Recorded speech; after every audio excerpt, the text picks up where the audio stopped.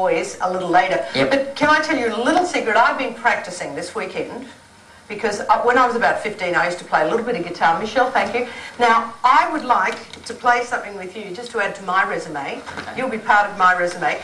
Now, what do you think we should play? Something fairly easy for me. A bit of what?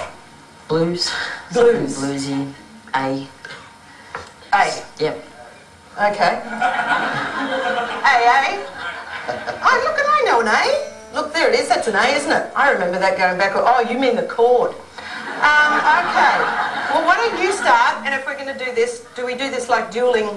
Yeah, just It's one not a banjo, but we'll fake it, won't we? Jeff, help me here. Yeah. So after you. God, you sound like the school. He's old enough to be the headmaster. Okay.